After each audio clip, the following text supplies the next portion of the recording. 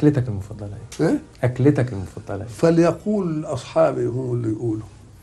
ما هو كنت أكلة كان يسعدني إن أنا أستضيفهم آه, آه, آه أكلته المفضلة يا سيدي اللي أنت في موسم الفول الأخضر أكلتي المفضلة الفول الأخضر والجبنة البيضاء والعيش الناشف.